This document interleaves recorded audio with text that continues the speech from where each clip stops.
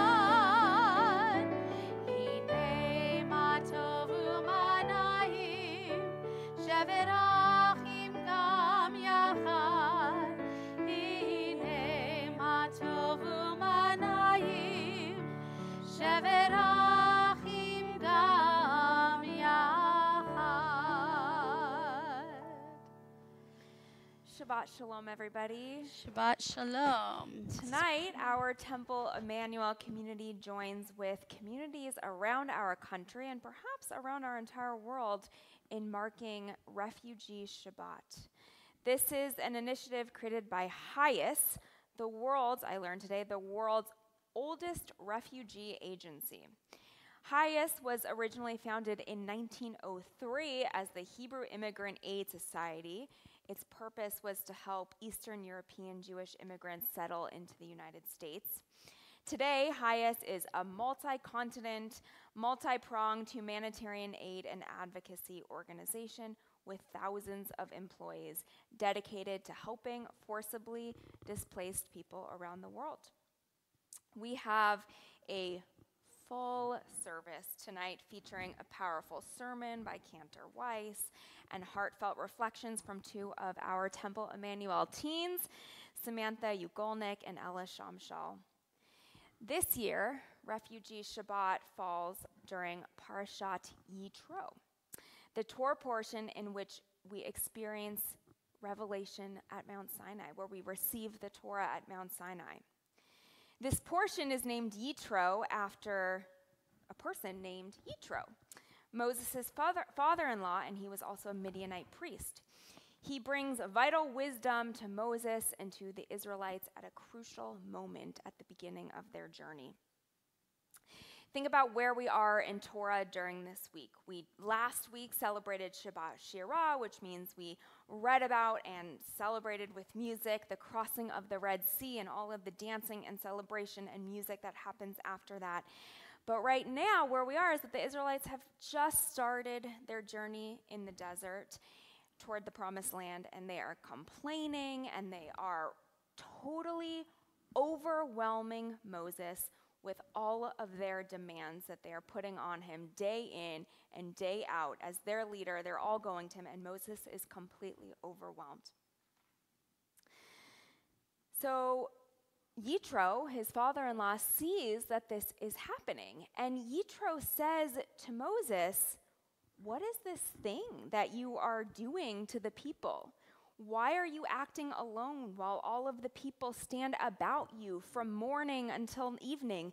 The thing that you are doing is not right. You will surely wear yourself out and these people as well, for the task is too heavy for you. You cannot do it alone.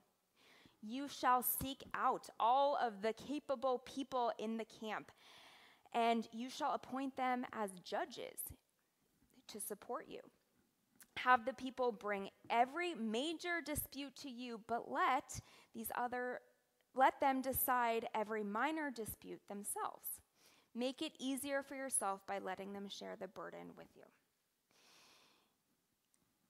In this interaction between Yitro and Moses, we see the importance of learning from others, those who are different from us. And I bring a commentary by Rabbi Shai Held. He teaches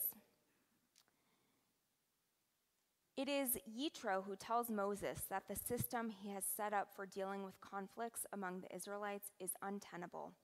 One person cannot possibly handle such a Herculean task alone. He must appoint helpers.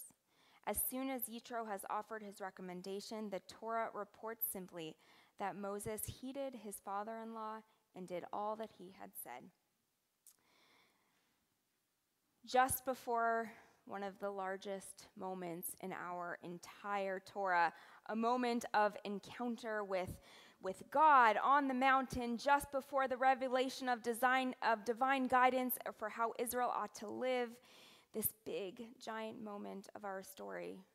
Our Torah stops to teach us what could be considered a small but important lesson. There is wisdom among other nations, among other people. As we begin our Shabbat service tonight, I'm going to ask you two questions, therefore, to help us kind of frame what this refugee Shabbat is all about. If we start from the assumption that there is wisdom among the nations, if there was wisdom coming from Yitro, who was Midianite and he was not an Israelite, how should that shape our, our relationships with communities and individuals who come from other nations, other cultures, and other backgrounds who are different from our own? What would have happened if Yitro hadn't been able to gain access to Moses? Or what would have happened if Moses hadn't been willing to listen to Yitro? Tonight we're going to hear the powerful stories about encountering the other, encountering strangers, people of other nations. I invite you to take these questions into your mind and into your heart as we honor Refugee Shabbat tonight. We'll begin our service with our lighting of our Shabbat candles. And to do that, um, I'd actually like to invite forward Ella and Sam and their families to come to our Shabbat candles right now, and we'll um, we'll light. The candles are on page two in our prayer books, and just our prayer books, they look like this. They're toward the back of our sanctuary, I think everyone has. or you can also follow along on the screen. Sarah. Thank you. Yai lai lai lai lai lai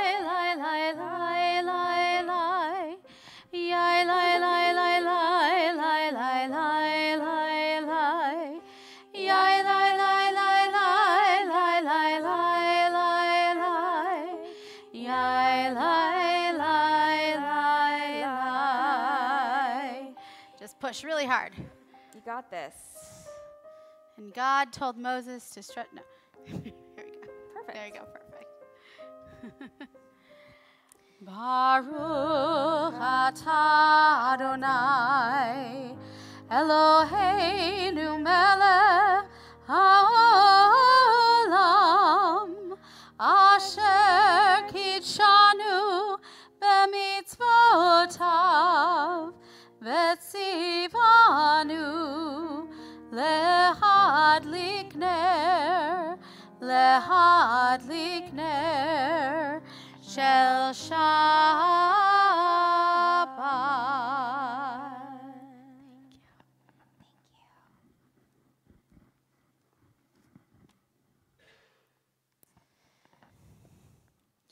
Before actually, Ella, you get too comfortable, I'm going to invite you back up to our bima. Um, we always start our service. We have a really nice tradition here at our temple of starting with a moment of Hazarat Hashavua, which means the reflection on our past week. So I'm going to invite Ella to share some powerful words about what she's been learning about in relation to immigration and refugee justice, and some questions for you to ponder um, as we enter, as we say goodbye to this week and enter into Shabbat.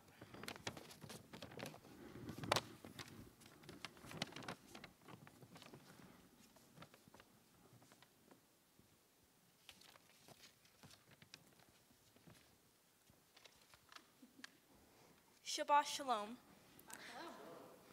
I'm Ella, and I'm in 11th grade. Um, this year, I'm going on the passport trip to Arizona to learn about immigration. And in our last class, we were asked if we had to leave our homes right away and we could only take 10 things with us, what would those 10 things be? It wasn't easy coming up with only 10 things I could take with me. And I wondered, how could I choose just 10? It's hard to leave everything you know behind and start over. My mom had to do this when she escaped Iran to come here with the help of HIAS. For example, she has no pictures of her life before she left. As Jews, we are not unfamiliar with immigration, from escaping pogroms to escaping the Holocaust. Our history is riddled with having to leave our homes to start over. In light of our past, the words from Exodus resonate deeply with us. You shall not oppress a stranger, for you know the feelings of the stranger, having yourselves been strangers in the land of Egypt. This verse from Exodus highlights the empathy and understanding expected towards strangers, reminding us of the importance of kindness and compassion to those who are not in a land of their own. How can we as a community embody this teaching of compassion in our actions today? Thank you for listening.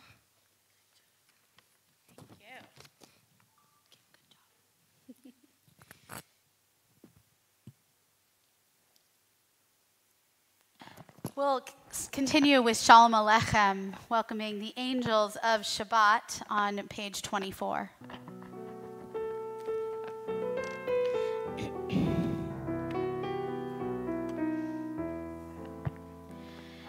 Shalom Alechem, Malachi Hasharet, Malachi Elyon, Mi Melech, Malachi Hamlachim, Hakadosh Baruch Hu. Boachem leShalom.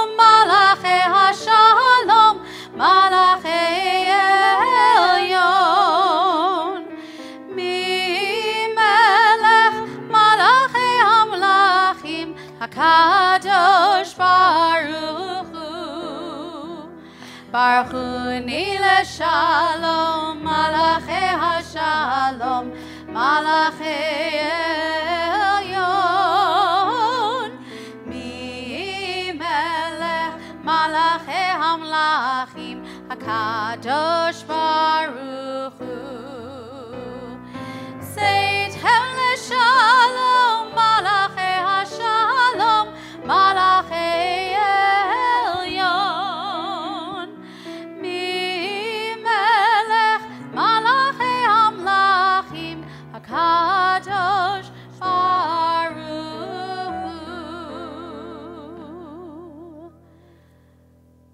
take a few moments um, to review your week, to think about those words that Rabbi Alvin opened with, that Ella so beautifully shared. And I, I guess my spontaneous prompt to everybody right now would be where, what did you feel about walking into this service that is focused on uh, stories of the immigration crisis? And then check in with yourself now, and perhaps you'll check in with yourself at the end of the service and see if your minds have shifted in any way. So we take a few moments of um, silent meditation.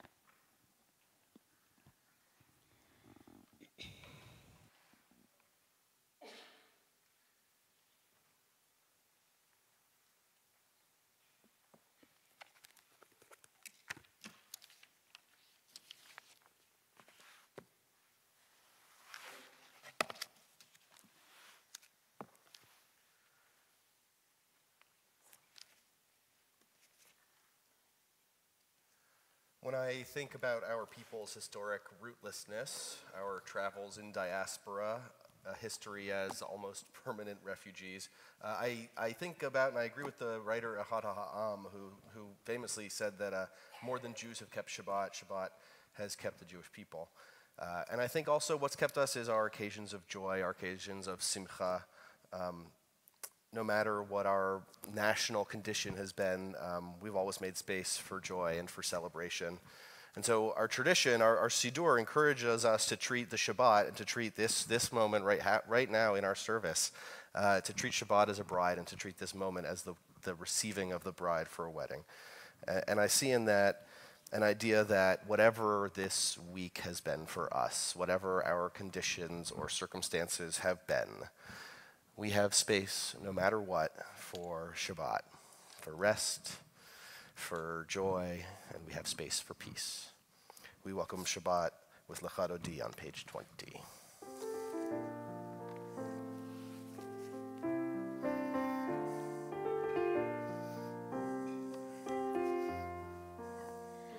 Lecha Dodi, Likrat Kalah.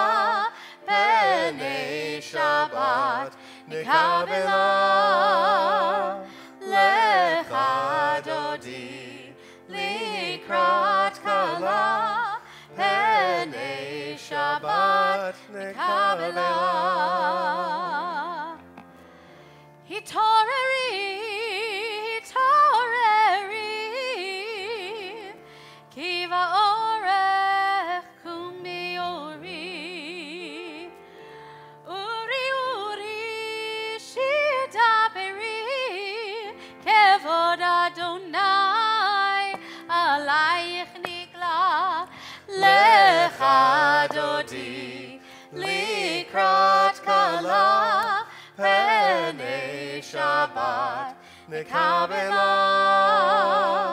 לך דודי לקראת כלה פני שבת נקבלה. We rise and face the entrance as we welcome the Sabbath bride. Verse 9. בואי ושלום עטרת בעלה, גם בשמחה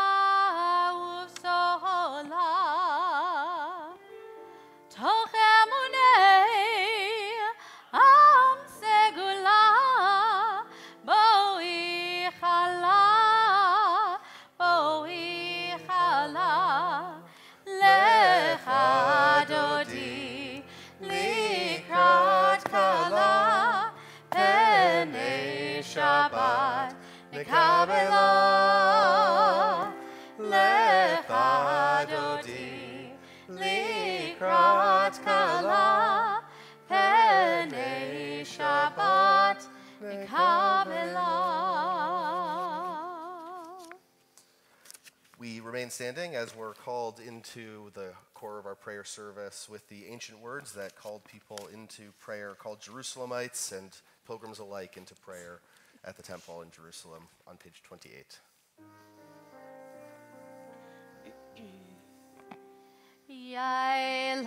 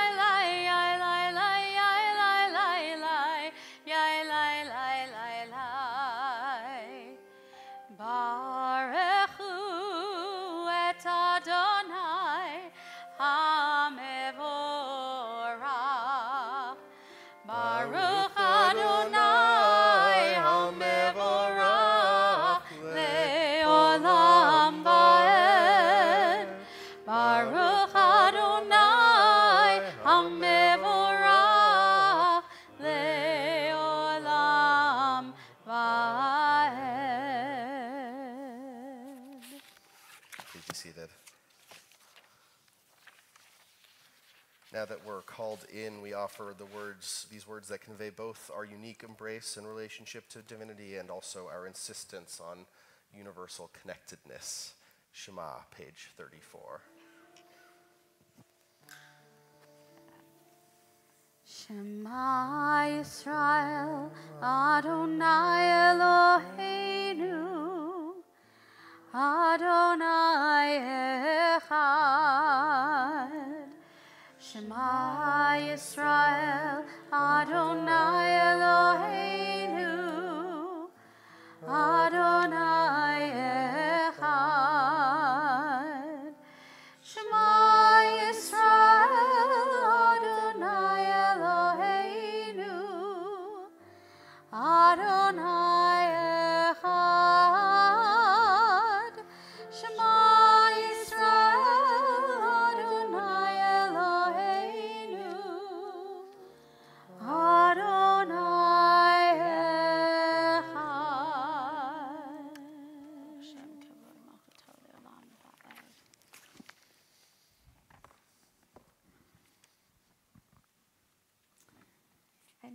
to invite up to our bima Samantha Ugolnik. She's going to be sharing a few words of her own before we go into Michamocha.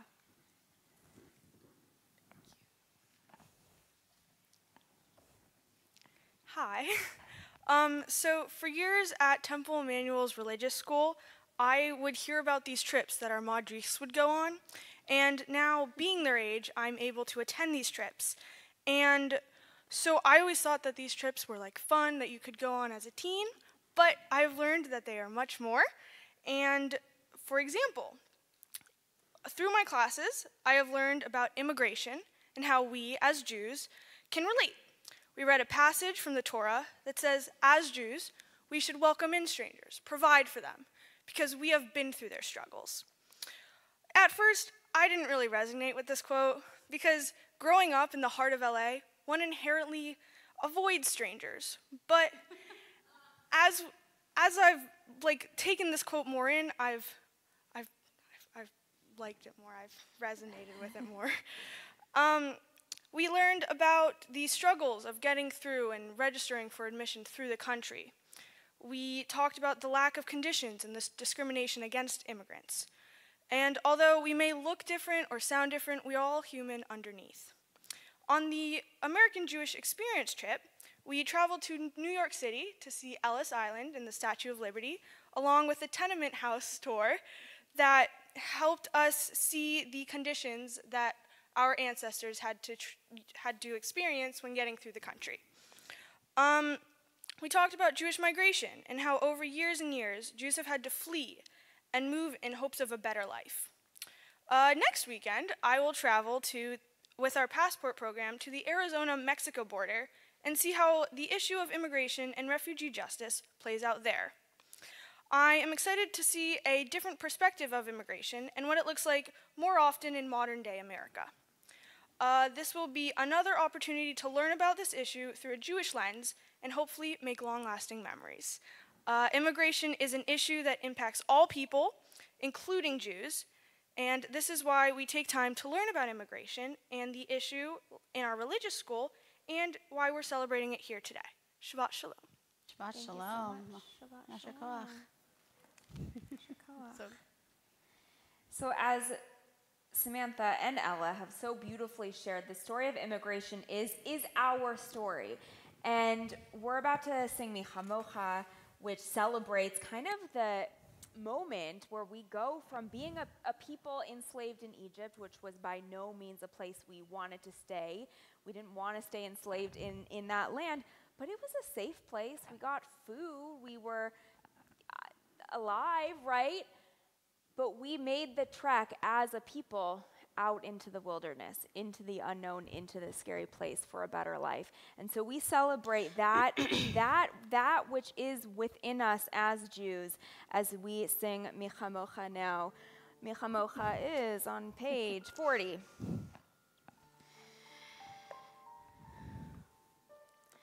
Micha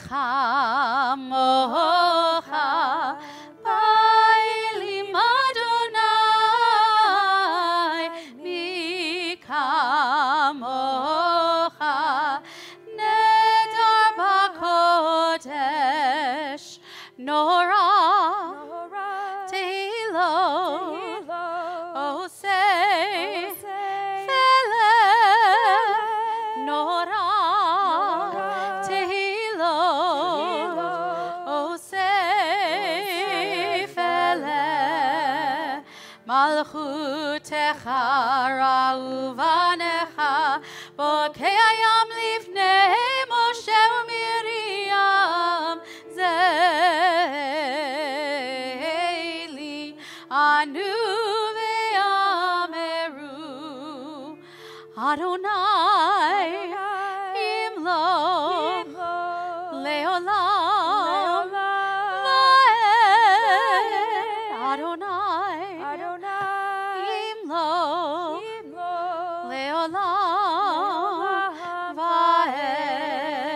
lai lai, yai lai, yai lai lai lai, yai yai yai yai yai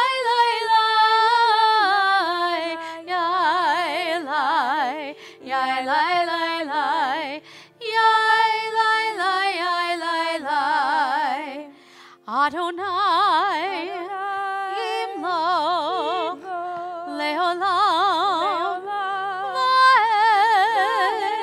I don't know.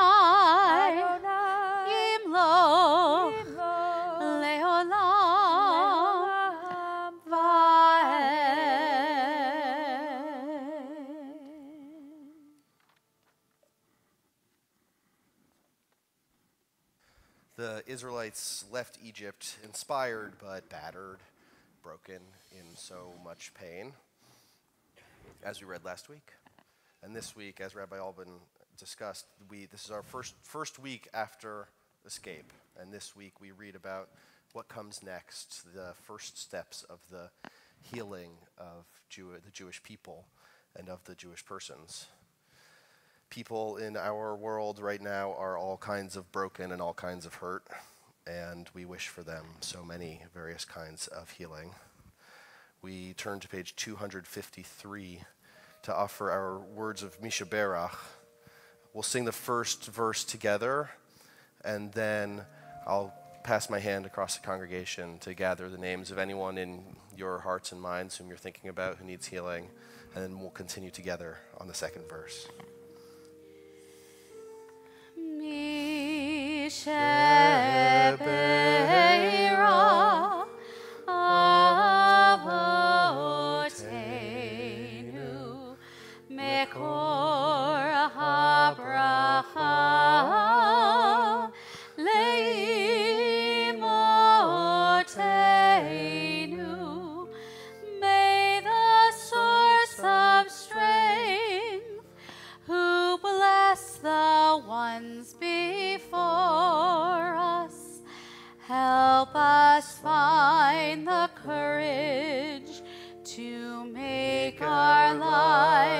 blessing and let us say, Amen.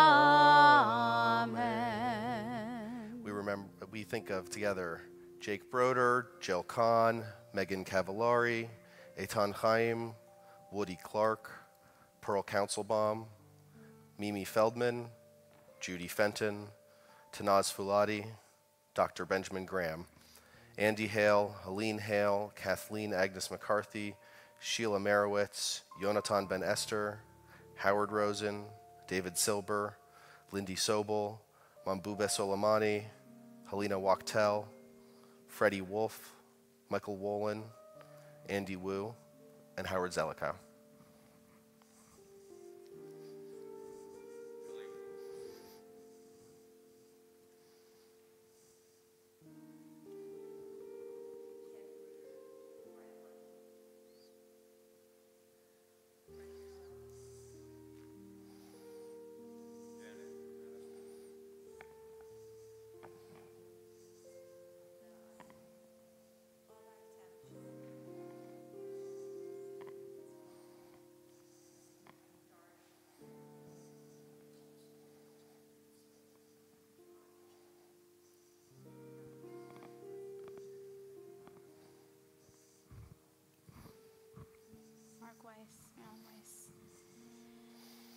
Paulette Miller, Grace Blaustein, Lois Lebman, Rita Newman, Audrey and Judith Bennis, Lupe Diaz, Hazel Sequenza, Merrill and family, Andy and Helene, Lucia Diaz, and Kathy Murray.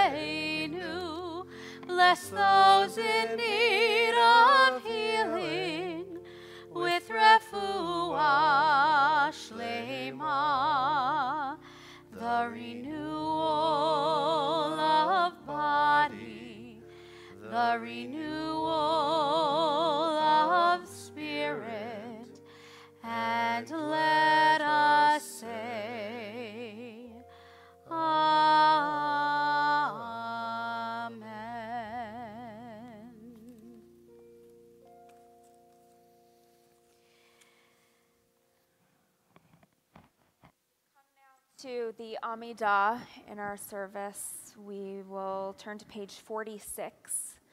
This is the part in our service where you may want to pay attention to the words that are in the prayer book, but it's also a really nice time for you to just be one with the divine above and say your prayers out into the universe. We start by singing Adonai Sifatai Tiftach. May God open up our lips so that we can pray. We'll sing that together and then we'll continue with our own silent prayer. Page 46, please rise. Adonai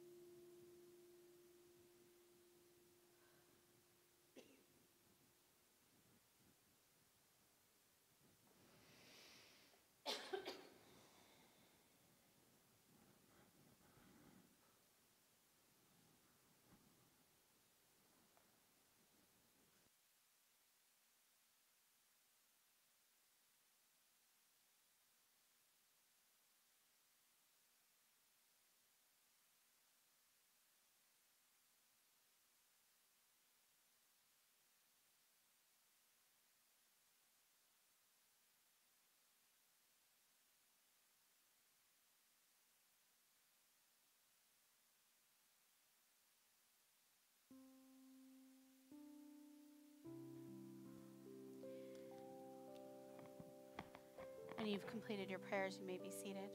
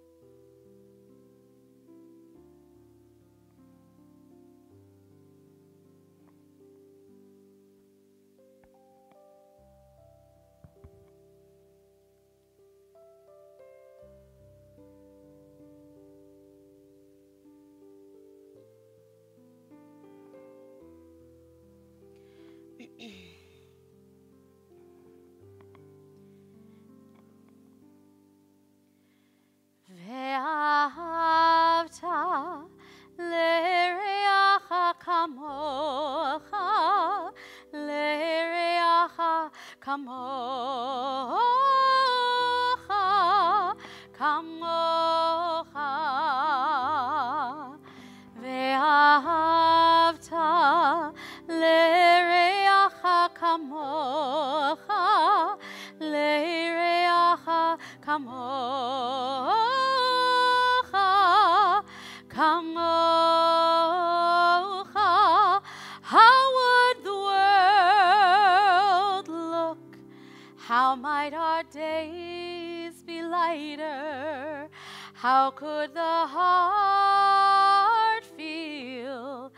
How might the lens get wider if we loved like that?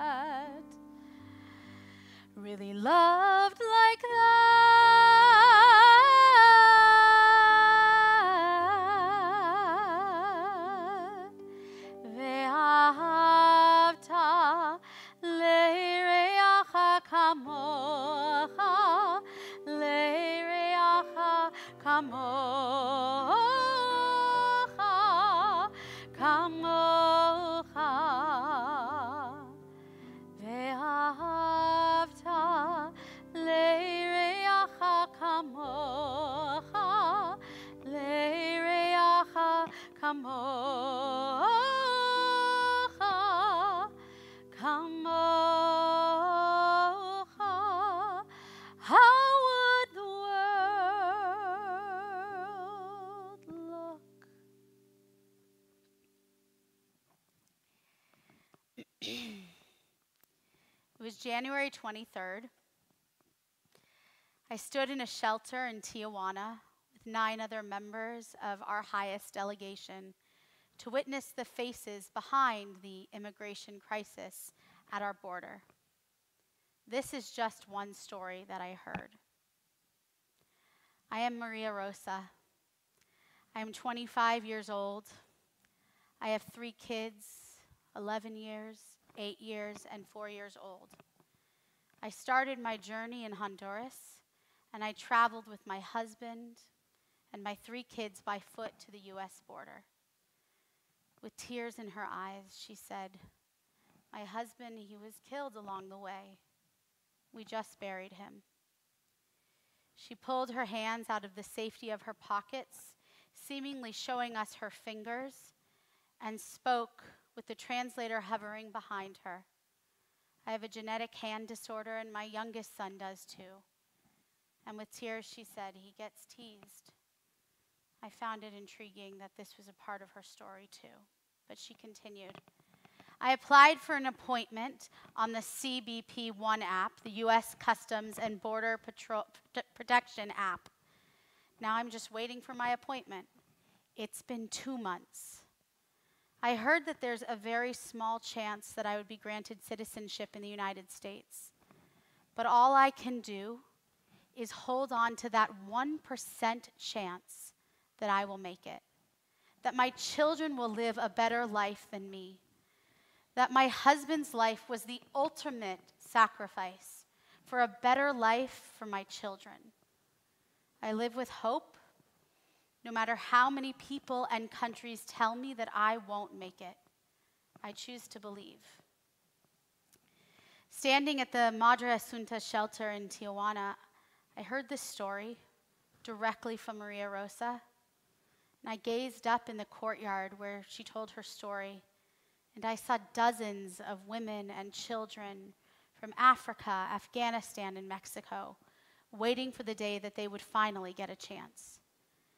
I stood in disbelief that a room full of 30 tightly squished bunk beds and a few nicely cleaned but outdoor toilets represented the safe haven many of these women had had in months, the first safe haven that they had had. So tonight, I want to ignite your curiosity. You can, of course, get the statistics on the news. You can hear about the quote unquote border crisis on the radio. But it's hard to me, it's hard for me to feel empathy for numeral statistics that I hear. I, I needed these real life stories. Most of us hear about the border crisis these days as a political point of contention, right? That's how we hear about it on the news. But it's more than that. It's more than just keeping out the fentanyl and the bad guys, which of course is important. And it's about protecting innocent people who are quite literally fleeing their worst nightmares. I fear that the decisions being made or not made over the next year are more focused on electability and less on humanity. So I stand here today giving this sermon as what will be perceived as probably my most political sermon. Not that I give that many, but I hope that it is actually perceived as my most empathetic one. More than any of my cantorial duties, I see my pastoral care as primary, whether it's in using my heart to sit with someone in hospice or using my singing voice to uplift people in deep prayer. My first desire as a cantor is to be at one with you. It's my job to open up my ears and my heart and hear the stories of our people.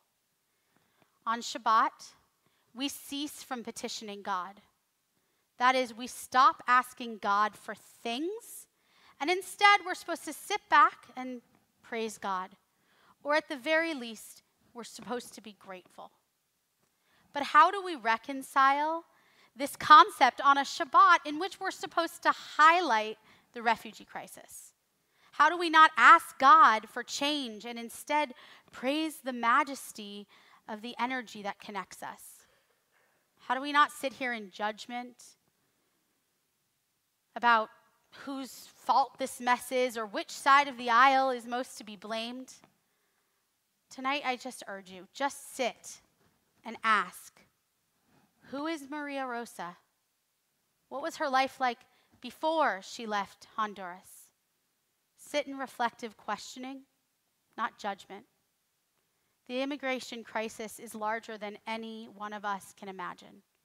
For me, asking questions and simply absorbing the facts is my gateway towards compassion. The entire time that I was on the delegation, I couldn't help but to be curious about the journey that so many immigrants took in order to just get to our border. What do you mean? You walked? You, you walked from Honduras to Guatemala to Mexico? You took a bus, but then a coyote robbed you of your money and your passport? You got sex trafficked? And the most mind boggling fact and anecdote that I heard was that women chose to take birth control in anticipation of their journey, knowing that they were vulnerable to rape, violence, but they still, they still chose to take this journey because it is better. Believe it or not, it was better than what they had to leave behind. Just imagine being an innocent person fleeing a war torn country only to experience even worse nightmares on your way to freedom. So I ask myself, okay, but why? Why should we as a community, why should I as a cantor focus our resources on the global immigration crisis? Our trip was led by our very own Rabbi Sarah Bassin, who served here for nine years. And she's now the director of clergy and congregations for HIAS. I asked Sarah, Sarah, you know Temple Emanuel. What do I tell them? Why should we focus a quarter of our resources on, of our social action resources on the crisis at the border? Her answer because, Lizzie, this isn't just a crisis at the border, this is a matter of global stabilization. For the first time in our human history, there are 117 million forcibly displaced people in our world. The number is only rising. And unless we globally figure out how to manage and care for the people fleeing for their lives and the crisis that caused them to flee, we can only expect to see increasing xenophobia, toxic nationalism, and broken systems set up for failure. But I just say, if we don't help the Maria Rosas of the world, who will? I want to help raise her children so that they can be thriving parts of our community. The question isn't how do we keep them out, but how do we allow good people with unfortunate circumstances in? Guided by the amazing, knowledgeable staff of HIAS. By the way, there were five members of HIAS on our tour with us. We had Rabbi Bassin, we had a director of security, we had um, an attorney, a, an immigration attorney who serves as the policy advisor for HIAS, standing with us. Very blessed to be surrounded by such knowledgeable people. But we became really keenly aware that what happens in Somalia affects what happens in Colombia, what happens in Venezuela affects what happens in Guatemala, what happens in Honduras affects the bottleneck of refugees and asylum seekers trying to just seek refuge in the United States. They said this over and over again. We just need to create a predictable and boring protocol to access the USA. Ultimately, this will help Israelis fleeing rockets and Jews fleeing anti Semitism around the world, as it is, as we know, globally on the rise. We don't live in a bubble. And stabilizing the immigration process in America is critical to balancing the inevitable evils that drive out millions of displaced people around our entire world. Rabbi Bassin further explained as a message our southern border is no longer seeing just Mexicans and Hondurans and those that we've typically expected from Latin America. We're now seeing Africans, Russians, Chinese, Afghans, Uk- Ukrainians. If we do not show leadership on this, how can we expect other countries to? We were given the immense opportunity to witness the faces and places behind the immigration crisis. This is where I want to share with you what I saw on this journey. We went to two shelters in Tijuana. We saw the people who were doing the right thing, right? They were at a shelter in Mexico waiting for an appointment. We also saw angels on this earth, people in Mexico trying desperately to just provide and support for the immigrants who stand in front of them we had the, I don't know if you would say privilege, but we were dropped off by bus in Tijuana as we toured. And then we were dropped back off at the port entrance and told to walk back through. And honestly, to me, it felt like a global entry experience or coming back, you know, at an airport. That's what it felt like.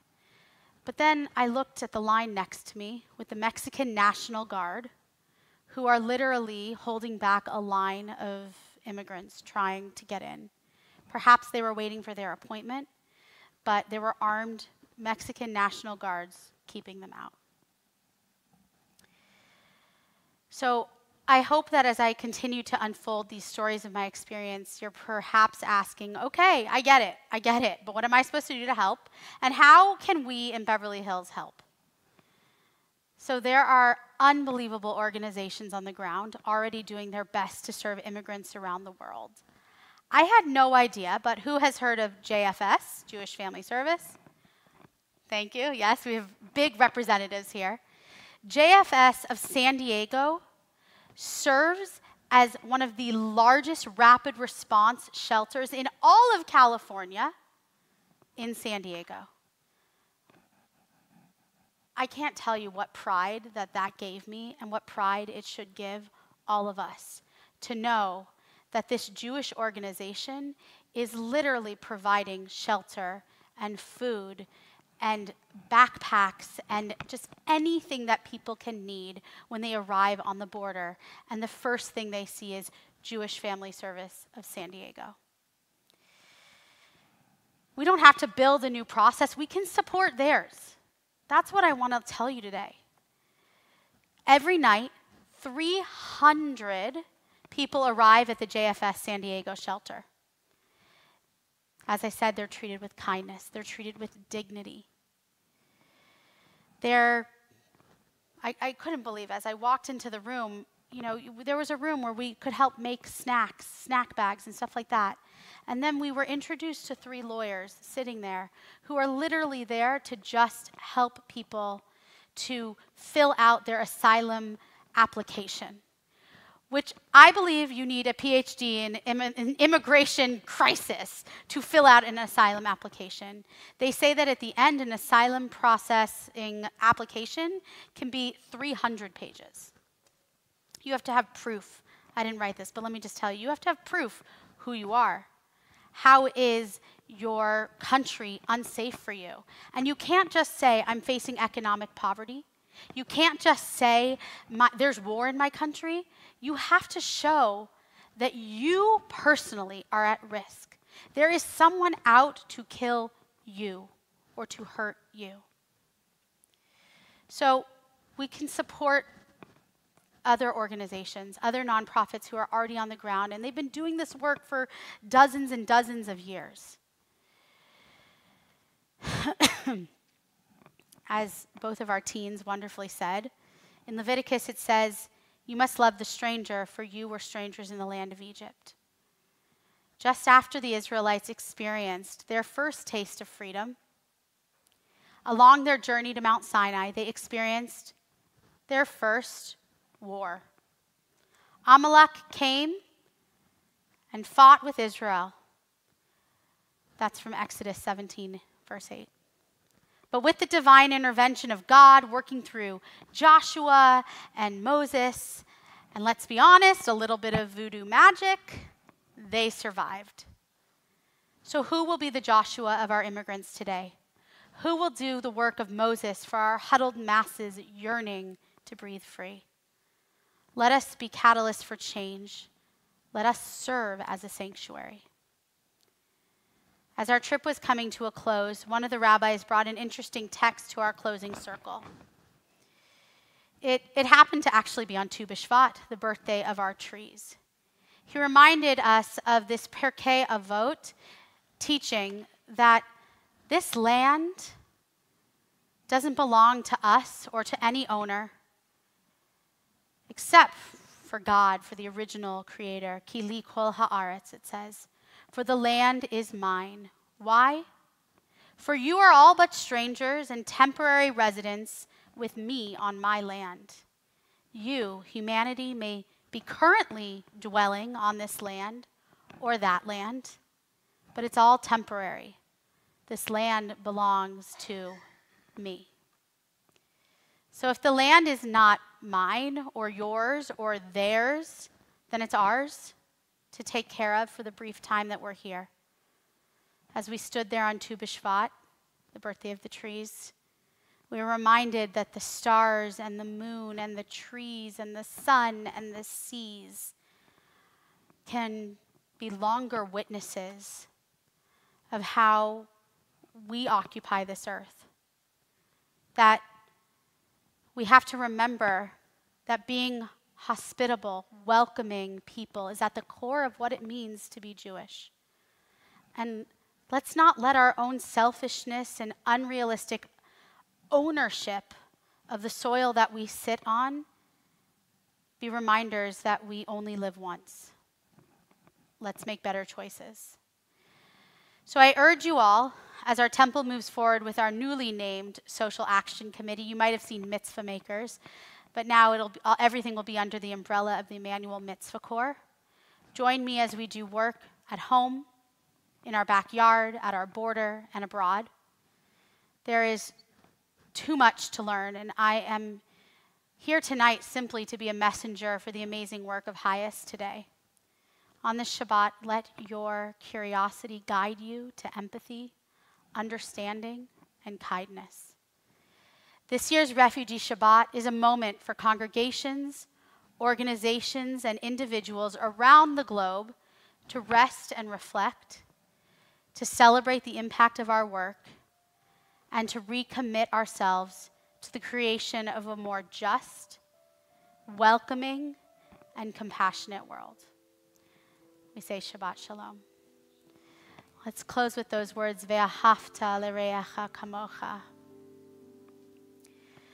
Ve'ahavta l'reacha kamocha, l'reacha kamocha, kamocha, ve'ahavta l'reacha kamocha, l'reacha kamocha,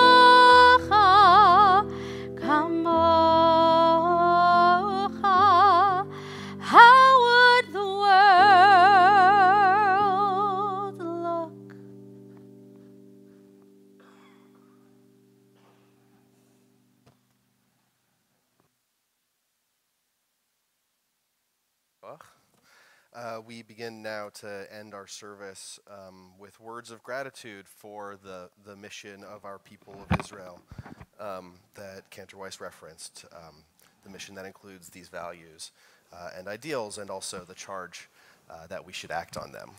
So we turn to Aleinu on page 282. 282.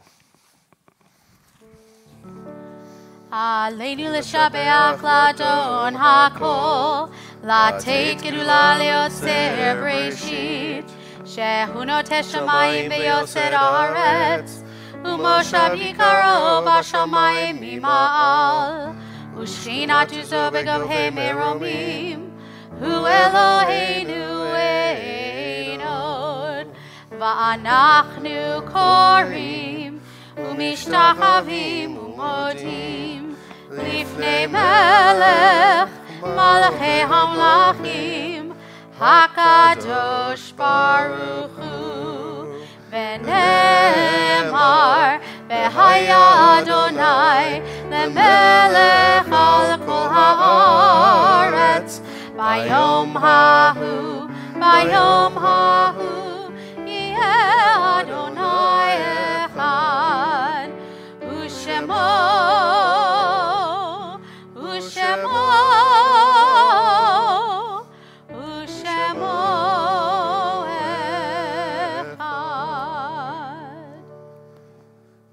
Please be seated. Uh, our our tradition's primary prayer of memory and mourning, uh, the Kaddish, seems to have come into this use from having been the thing that you say when you're done studying a tractate, a book, a section of Torah, a section of Jewish learning. You would say Kaddish, and that came out of the Beit Midrash into our sanctuaries um, when we pray as a way of, of mem- remembering people in our lives.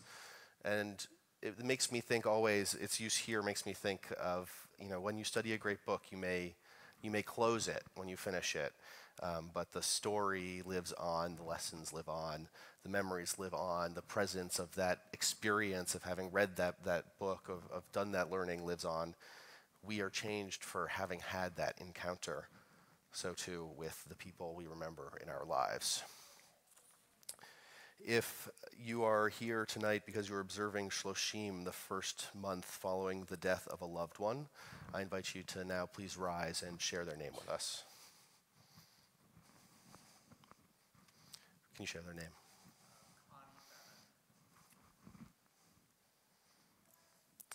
We additionally remember as a community Dr. Kurt Altman, David Pick, Bobby Kay, and Maya Polishuk. If anyone here is observing Shana, the first 11 months of mourning following the death of a parent or loved one, I invite you to rise now and share their name.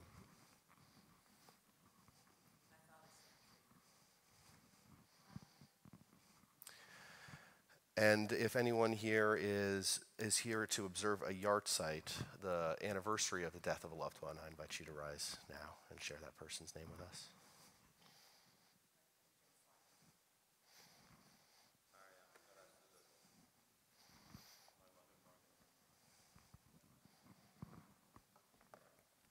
Additionally, as a congregation, remember Zachary Zernick, Ellen Kaminsky, Philip Hirsch, Marilyn H. Friedman, Ruben Cabrins, and Oscar L. Paris.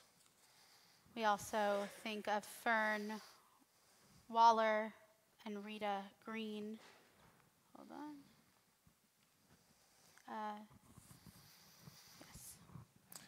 in, I invite you to rise now in solidarity with these mourners among us in memory of these uh, members of our community who have passed, as well as for those who have no one to say Kaddish for them, and all those whom we recall who have passed in recent times.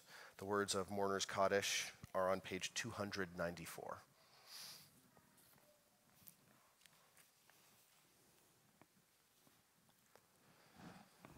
Yitkadal, Vyitkadash Shmei Rabbah, Be'alma Divrach Irute, Be'amlich Malchute, Uvyomechon Uvchaye Dechol Beit Yisrael, Ba'agala Uvizman Kariv Ve'imru Amen. Yehe Shmei Rabbah Mevarach Le'olam Ulamei Almaya. Yitbarach v'yishtabach v'yitpa'ar v'yitromam v'yitnaseh v'yithadar v'yit'aleh v'yithalal shmei dekudshah brichu le'ela min kol birchata v'shirata tush bechata v'nechemata da'amiran be'alma v'imru amen. Yehe shloma rabba min shemaya v'chaim aleinu ve'al kol Yisrael. V'imru amen. Oseh shalom b'mromav Hu Ya'aseh Shalom, Aleinu ve'al Kol Yisrael, ve'al Kol Yoshei Tevel, ve'imru. Amen. May their memories be for so many blessings.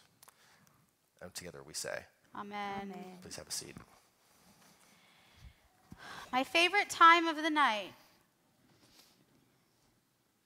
So uh, we're going to start with, uh, we we only have four, four or five announcements, starting with this coming Tuesday night. Please join me. I am teaching a themed class, Kindness Toward Yourself. Our theme, I bet you all know by now, is kindness for this year. And I think we spent a lot of time thinking about how we can be kind toward other people, which is, of course, extremely important. But I'm here to teach you that you can't be kind toward other people unless you're first starting with the foundation of being kind toward yourself.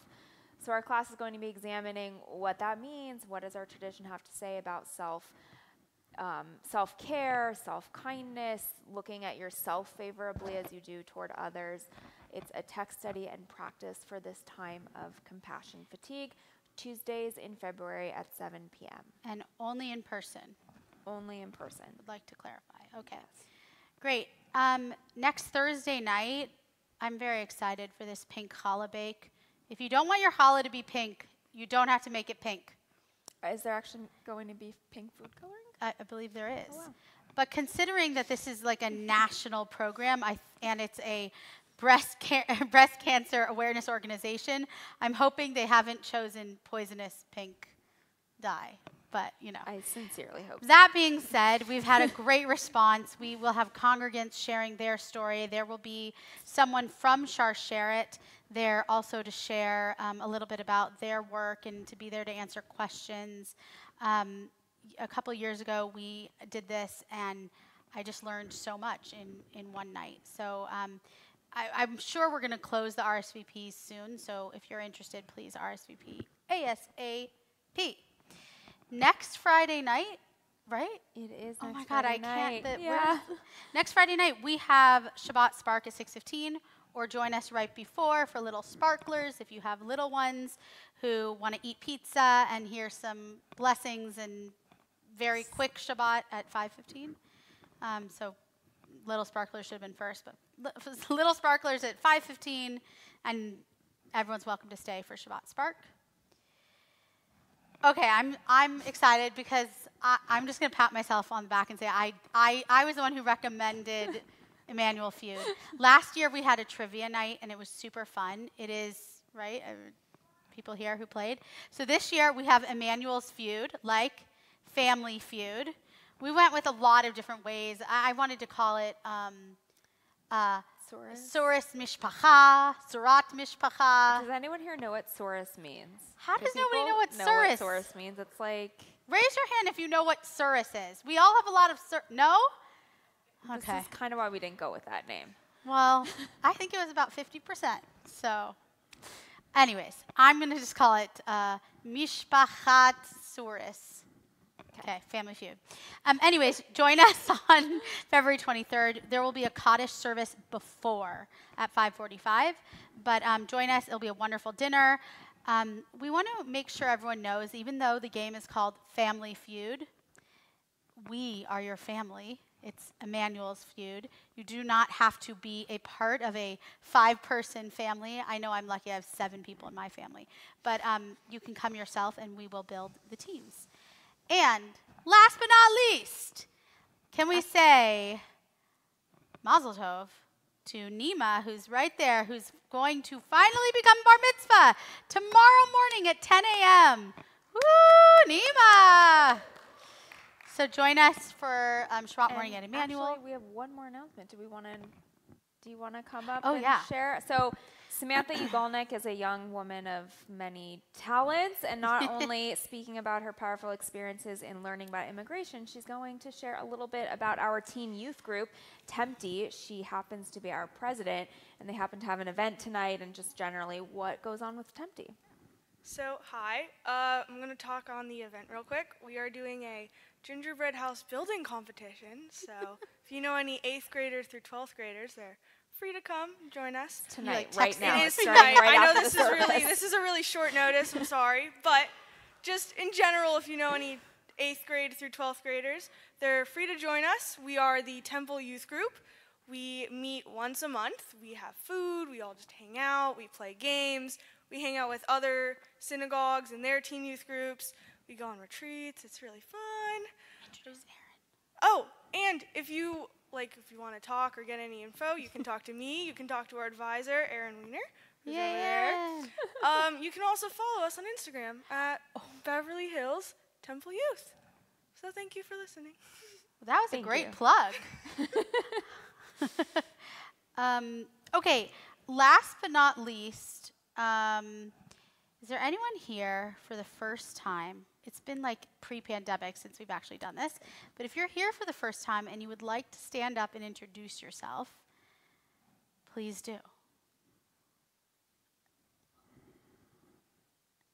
No pressure if not. But just know you're not a stranger anymore. No. You're welcome in this space. You're welcome in this space, and we'll talk to you after while we have challah. Okay. Cantor Weiss, what is our closing song tonight?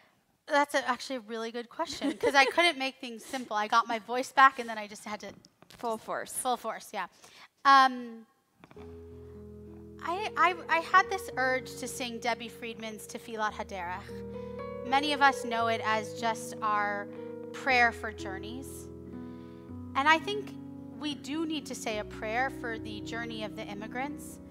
But I want to encourage us to say this prayer for us right now, too, because we're also on this journey of trying to figure out how to heal the world right now. So we're going to sing May We Be Blessed, but let's include those strangers, let's include those uh, neighbors all around us. So if you want to rise, put your arms around each other. You can see the words up on the screen, and we'll close our service with Tefillat Haderech. May we be blessed as we go on our way.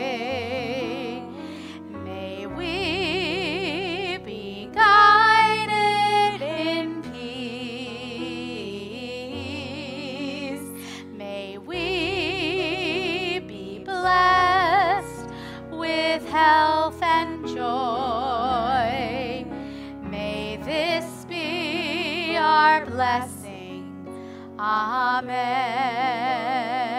Second verse. May we be sheltered by the wings of peace. May we be kept in safety and love. May grace and compassion find their way to every soul. This be our blessing. Amen.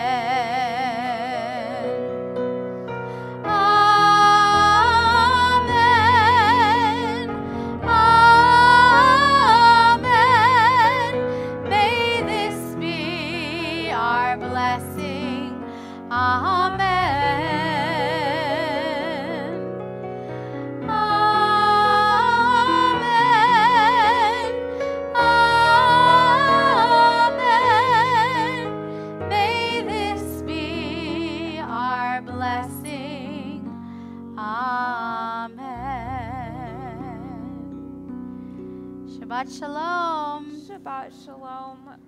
We will do Motzi at challah in the back, so please join us for that.